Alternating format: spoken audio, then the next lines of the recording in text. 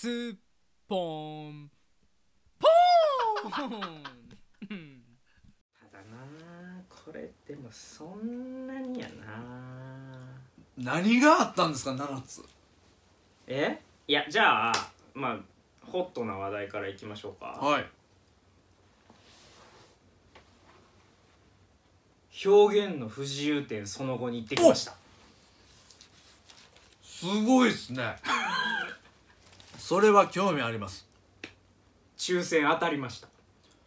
それはすごいっすよ。本当に。すちょっと話整理しましょうよ。ええどうぞどうぞどうぞ。何でしたっけ？え 嘘俺か。俺にさせようとしてんの。はい。えっと愛知トリエンナーレ。愛知トリエンナーレですよ。名古屋のえっと町がね。ちょっと待って。はい愛知トリエンナーレっていうね、愛知トリエンナーレです。これ現地で配っているしん、あのー新聞みたいなねうん。紙でこれ、各会場どれぐらいの規模なんですか？そのね施設の中でやってる。会場は、はあ。えっと4箇所です。四箇所。まず、えー愛知芸術センター。愛知芸術センター。これ、えっとはい、堺にありますね。堺？堺。あ栄栄栄ですね。で愛知芸中心地ですわ。そして、えー名古屋市。名古屋市立名古屋市美術館。これも栄近辺です、うんうんでこれな僕読み方ちゃんと分かってないですけど、うん。堂円頓寺、この、うんうん。この通りのねここの通りのこの辺の通りの中でねいろいろやってるという。そういうとこですな、ね。はあはあはこのとこあのもう終わってるから別にそれはまあまあまあ。まあいいじゃないですか。商店街でね、はあはでもう一個が豊田市美術館。ああちょっと離れますね。そうです豊田。豊田市駅周辺と豊田市美術館。なるほど。豊田市はい。この4箇所がメイン会場です、うんうん。ここにえーっと要は、まあ、一番大きい愛知芸術センターでうんうんうん。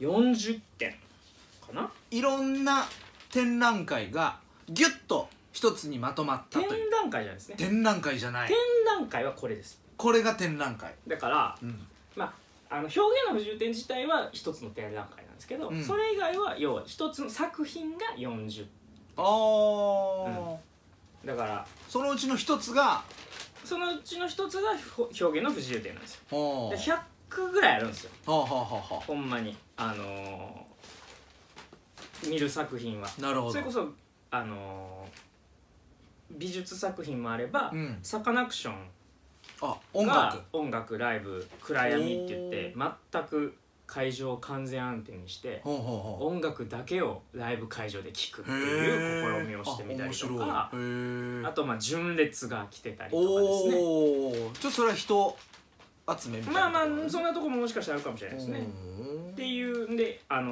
ーまあ演劇的なものもあります。はあはあはとかいろんな芸術祭なのであなるほど、まあいろんなことします。でそのね表現の不自由点。一個が表現の不自由点なんですよ。うん。だから本当に何百何百じゃうん。ない百何分の一なんですよね、なるほどなるほど、ええ。でそこがそこだけがちょっと、あのピックアップされて。ね。燃え上がってましたね。であのー、1週間か3日かやって、うん。中止3日というかね。ですね。3日三日。来てはい。3日やってうん、3日のうちに炎上あと脅迫が来たんですよね電力ああねそうでしたそうでした。あのちょうどそのうん。京アニの事件があったじゃないですか。ああれみたいに燃やしに行ったろかみたいあなガソリン持ってったろかみたいな、うん。それが来たんでうん。ちょっと会場うん。でまあ一つのその愛知芸術センターっていう一つのその施設の中の奥でやってるはいはい。のでそれでもうそんなことが起こったらもう、うん。その文化会館というか、うん。市民その施設ごとそういうことになってしまうかあらあなるほど。きあのもう避難とかまあまあもう危険だからやめようっていうこもうとで全部やめたんですか？トリエンナーレ自体。いやえっと表現の不自由点のとこだけとこだけクローズした。あクローズして他のやつはずっと続けてます。だあってなるほど。えっと8月の頭から10月の14日まで半ばまで2か月半、そうですね2ヶ月半、えー、2か月半やってて、うん。まあね規模的にも何億っていう金がかかって超えてる一個の公共事業です。なるほどなるほど。全部を止める。うんうんうん。まあいろんな意見ありましたよね。そうですね。はい。まあでも実際見てる人っていないんで。そうでしょうね。えよう当たりましたね。すごいでしょ。すごいと思います。奇跡ですよ。えあの再開しますとなりました、うん。一日なんか100人200人でしたっけ、えー、なんか限定でしたよね。1回30人が6回かな。1回30人が6回。20まあまあ人か。180人か忘れた180人か120人かどっしか入れないです。1日、はい。その6回っていうのは時間割で決められてる決められててます午前中2回昼2回夕方2回ぐらい。ああそうでですか。抽選は、うん。えっと、午前昼夕方で1回ずつ。あだからなるほど1回の抽選で2回分うん抽選してでウェブ上にもこの番号の人当たりましたよそう。れ抽抽選行くには現地に行ってなんか引かないといけないんですか、えっとあこぼれてる。ちょっと待って。いっぱいなんかいつもちょっと待ってって言うけど。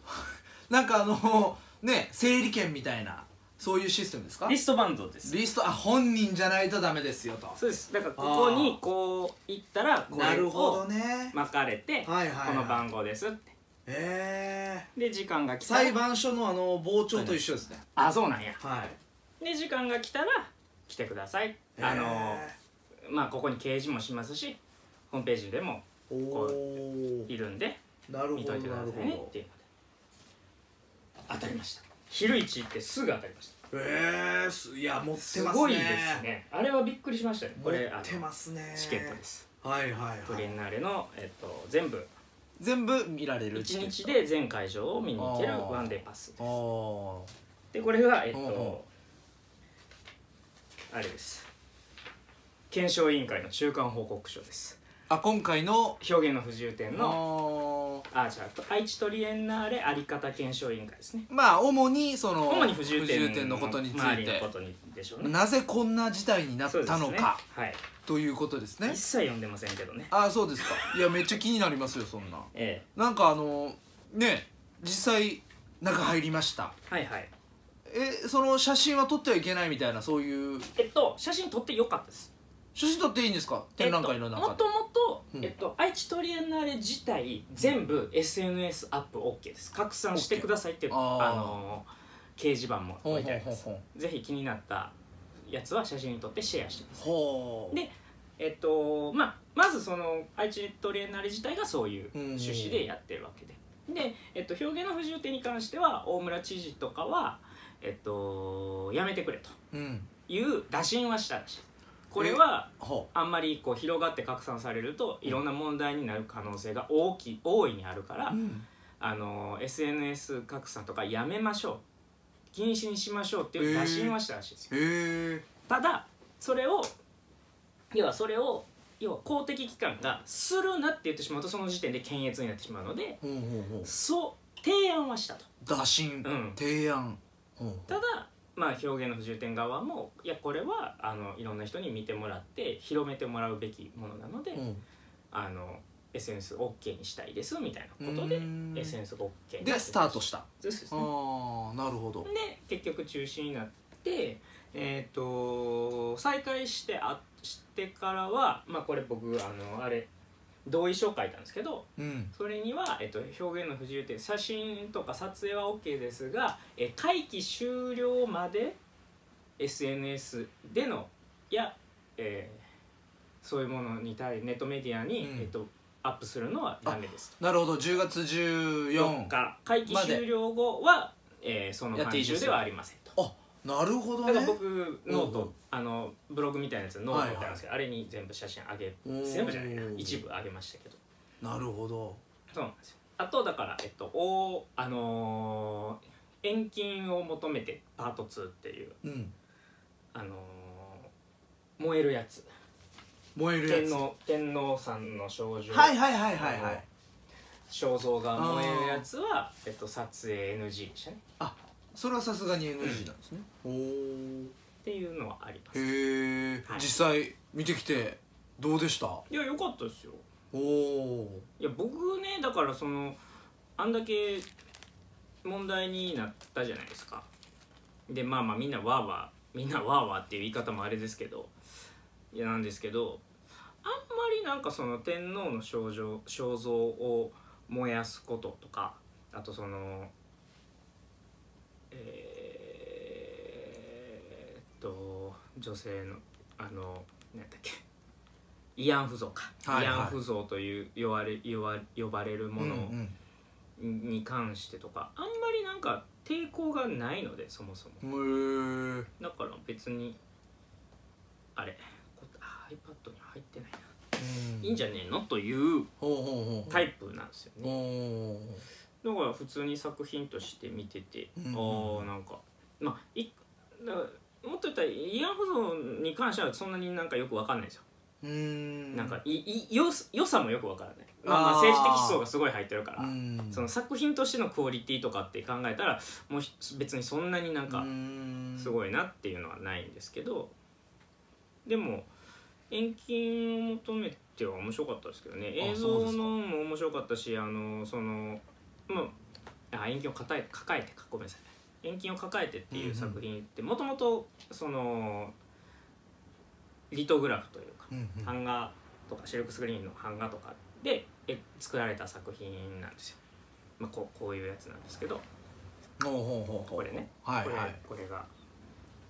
でこれがね何点もあるんですよ。こういうその天皇さ天皇の肖像を配置した作品っていうのがすごくいっぱいあってでそれが要は、えっと、どこかのどこやったかな。えーっと富山近代富山富山近代美術館で出展がノーとなったと。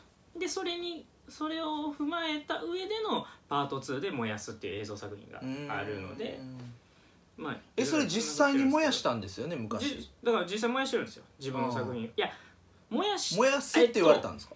えっとねまずえーっとこの遠近を抱えてのパート1うんの方は、えっと展覧会終了後県議会で不快などと批判され地元新聞も天皇茶化し不快などと報道し、うん。右翼団体の抗議もあり、うん。図録とともに非公開となるとあ非公開になった、うん。それは富山。富山の富山で。そうそうそう昔やった時にちょっと不快だと。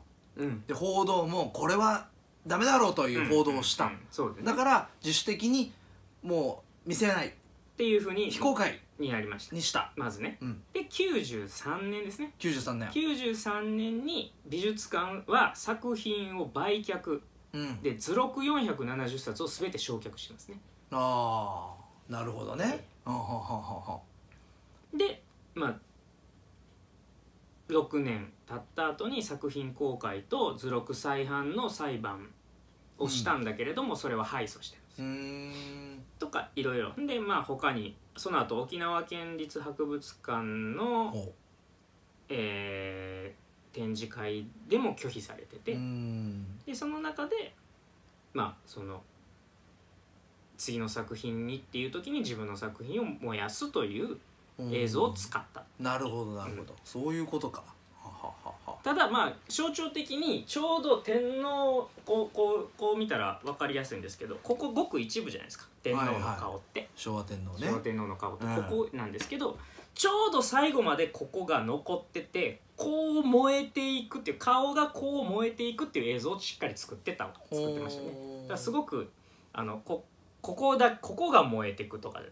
ここの上前半が燃えていくとかやったらあんま気にならないですけどやっぱここが最後まで燃え残ってここがあのじ徐々に燃えていくっていう映像になってたんでうん。確かにその天皇を燃やしてるみたいな風には見えますけど、ああまあでもやっぱり天皇っていうものがうん。そのひ自分自身のと切っても切り離せないものだっていう風に多分考えてらっしゃるので大浦さん、りまあ、そういうのもあるだとあるんだと思うんですけど。どね。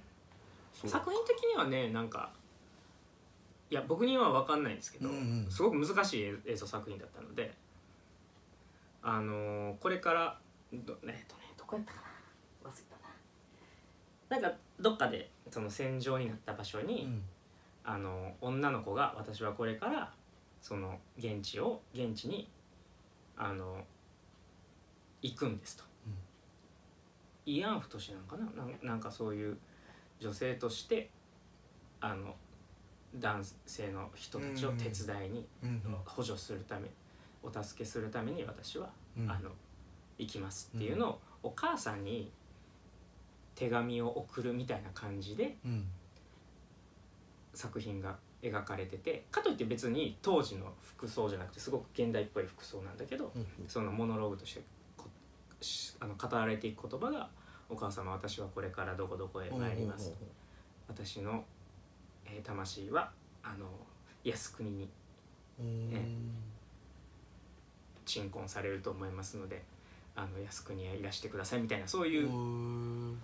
あのセリフというかうんモノローグとかがあるような作う品なので、んまあ、靖国参拝も押すような言動がある言動というかシーンがあるのでそれもまあもしかしたら問題になるのかなとか思ったりする。うん。でもやっぱりねその戦争をしてきた人がみんな靖国に祀られているというでもまあその戦争がなければ僕ら日本のに、うんうんうん。日本人は今ないわけで、うん。うんその人たちを全て否定してしまうのは日本人としてはどうなのかと。うん。海外からはそう何か悪いうん評価をされているかもしれないけれども僕らはその人らの屍の上のなうん。屍の上で僕らは今日本人として生きてんねんからそこは感謝するべきだろみたいななんかそんなことなのかなっていう気がしはしたんですけど日本人としての誇りとしては死んでい先に死んでいった人たちをうん